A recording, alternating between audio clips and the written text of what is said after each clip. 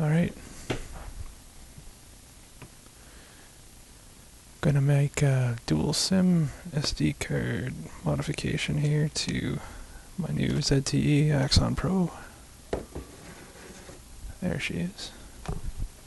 So far it's been a pretty decent phone. I apologize in advance for the audio guys. It's uh, pretty late at night, the kids are sleeping, wife's sleeping, and I just wanted to get this done. So, uh, to show you guys, I got my SIM cards in there now. And, uh, doo -doo -doo.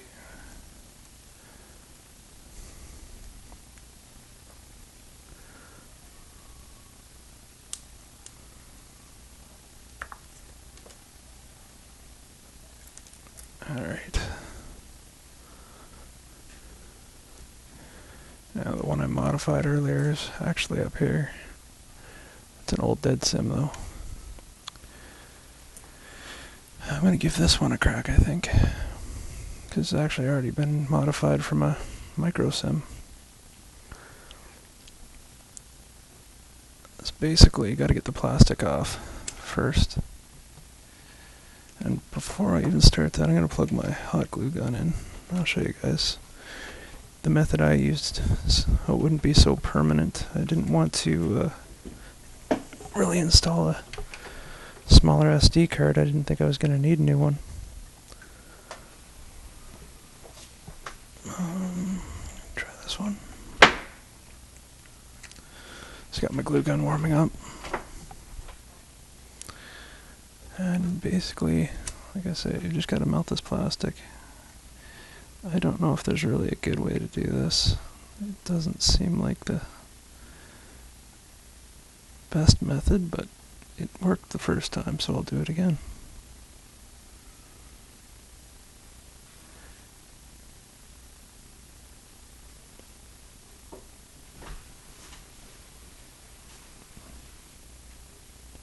I'm sure there's a melting point on the chip.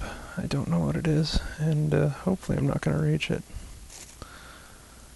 You can see it's already started to melt through a little bit.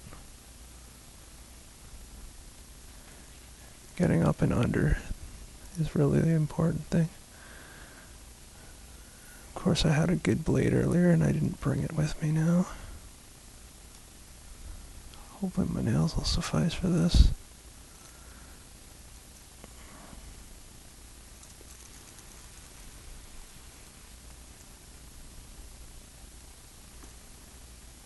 I'm gonna have to melt some more, I think.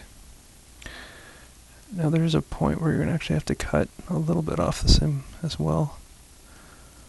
I've got the other one for a template here, but I'll try and get a good visual here before uh, the video's up and over. Yeah, looks like more on this side.